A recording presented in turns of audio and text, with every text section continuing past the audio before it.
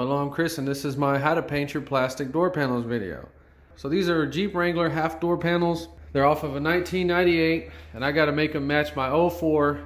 These are gray, mine need to be black. So we're going to be using these. The worst thing about this is those little nozzles like to squirt. Sometimes they'll just start throwing paint out. So you got to be careful with them. Other than that, great product. We got flat and gloss. We're going to decide which one we want. I'm gonna show you the process I go through to clean these and we're gonna try to make these look as perfect as possible. So when you're trying to spray some old door panels like this, your biggest enemy is the ones that sat out in the sun.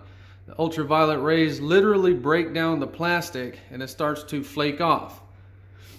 If yours are real bad, you can take your fingernail and scratch a chunk out. I'm not sure that's what happened there. The reason I'm talking about that is because if you spray them with that, it just kind of absorbs into it and leaves this ugly look. So you really have to be careful and don't expect them to come out perfect if you have this on the top. We'll look at this. It should come out pretty clean, but, but this one's not that bad. It's borderline. You can see down here at the bottom where the sun has not touched it, it's still got that shine to it, baked by the sun up here.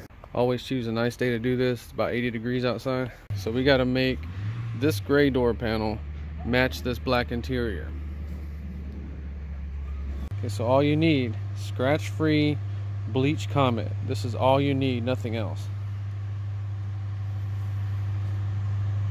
That's all you need right here. Nylon bristle brushes. This is to get in the little hard to reach places.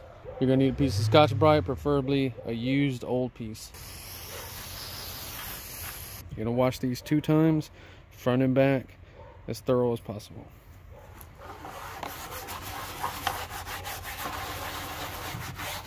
So we got this little place in here we need to clean. That's why we got the toothbrush to get back in there, clean everything.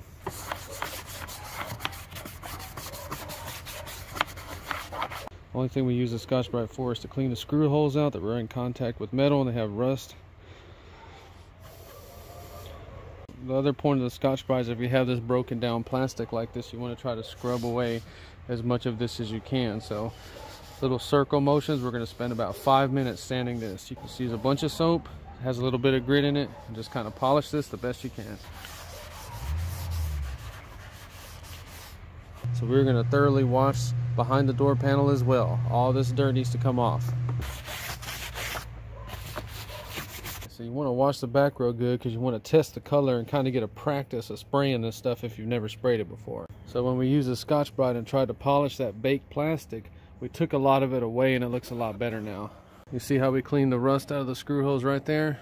We still have some dirt inside that bucket. We need to get all that dirt 100% removed. Inspect the places you missed. We got some little rust in that screw hole. We're gonna wash these thoroughly one more time with bleach soap. We're gonna go set them on that piece of plywood out there and let this thing dry 100%. They're sitting out there in the sun drying. Now the trick is to plan everything out to where as soon as that thing dries, we're gonna spray it with paint. We don't need to wipe it down with anything. It's just been cleaned with bleach soap. The surface is prepared. So the panel's finished drying. It's a beautiful sunny day, but you do not want to paint this out in the sun. So that's one of the mistakes that people make is they spray out in the sun. Now, if you touch this panel from the back, it's probably about 95 degrees. That paint we're about to use dries super fast, and the last thing you want to do is paint a hot panel. So we're going to let this thing cool down it's about 70 degrees in this room. So the only problem with this panel is it's got this little bucket area. If you can see, it's another piece of plastic. The problem with spraying this in here is that we could possibly get a weird spray pattern or we're gonna get those little dots all sprayed in the bottom. So I am going to mask that piece off. It's a way better idea than trying to get in there and spray it. If we could take that piece off, that would be the best option. But you can screw things up whenever you start trying to spray inside weird areas like that. It's nearly impossible to get good coverage inside that panel. So let's just mask it off. Spray this, you want to be able to walk around it and you want to have something to where you can prop this up. So now we're ready to spray. We study our door panel and we look for anything that we may need to pay attention to. So in other words, we have these little edges in there that's real easy to miss and you go back and you try to spray and then you end up screwing it up we got these little areas right here. You got to be very careful even in around here.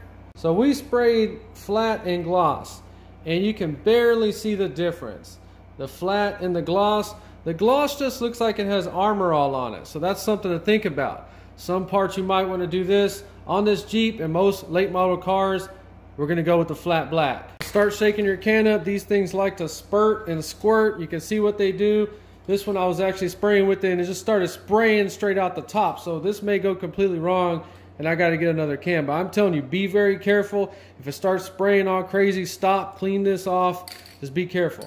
Let this paint warm up and shake it up for about five minutes. So you got to understand how to spray to do a good job. Practice on the other side. Keep it, you know, six to eight inches, a consistent distance, and you do not stop. Whenever you spray, you go to the end, go to the end, whip it, whatever. You do not ever stop in the middle like that. You can get a dry spot, it can just look like crap. So We washed this about an hour ago with bleach soap. We don't have to wipe this down with any alcohol or grease remover.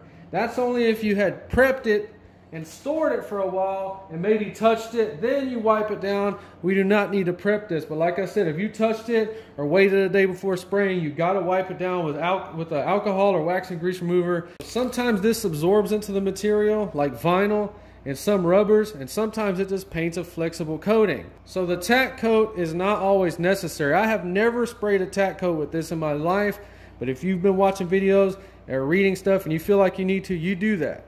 But you watch how I spray this, pay attention, so you get the same results I do. So it's very difficult to get in here, so what we're gonna do is we're gonna go to the back, and then we're gonna spray it like that, just a little bit.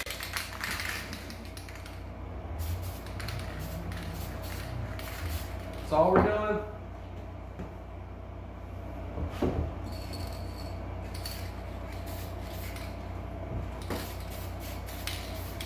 So we're going to go in and spray the edges. Remember, do not ever stop. If you got to stop, come off the thing. Do not stop right there ever and move back. Okay? See?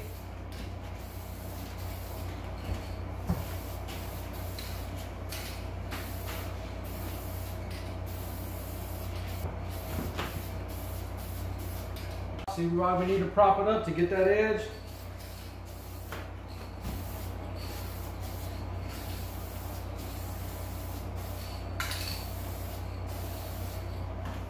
Spraying it kind of thick right there because remember it was baked by the sun, so we need a lot of paint on there. So tricky area, you just kind of want to hit it from all directions. That's what we don't want right there. Starting to sputter.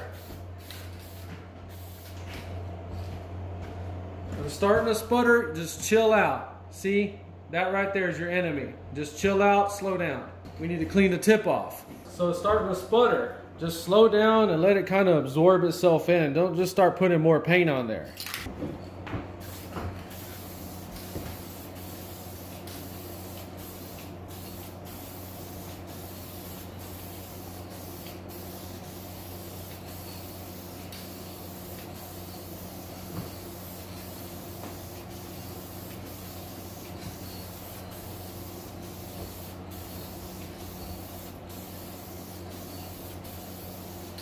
And just keep going back and forth like that until you get the right color. See, we're not, we're too thinned out right there.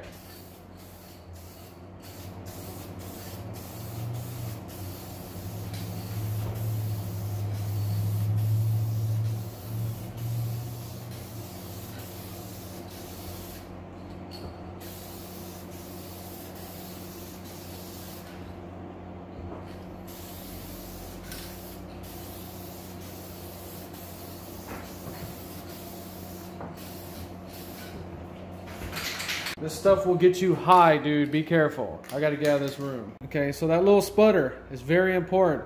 It is my fault. You see this right here? I was spraying with this yesterday and it started shooting paint out of the top and I pulled this off and it was squirting paint about three inches in the air. I should have returned a can, but I just cleaned this off and put it back and sprayed it. You saw what happened. It spurted right here. It's got two little dots right there. We'll look at them if, if they don't dry up. But other than that, you see how we colored it. Let's let this thing dry out in the sun. So the door panels are done. They came out real good. But remember, they were screwed up at the top from where the sun had been baking them.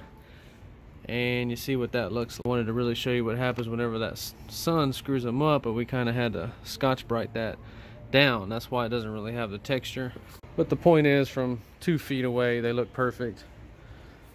So this one had the same thing. I think this one was worse. But either way, you kind of got to hunt to look for it. So I put some armor all on it to see if it would kind of cover up that sun damaged top.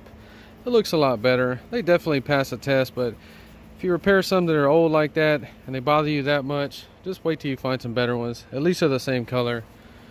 Pretty good match, I think. You can sit there and find flaws with anything. To me, they're about a 7 out of 10. Totally pass the test. They're going to look good in a Jeep. If you enjoyed the video, please like and subscribe. Thanks for watching.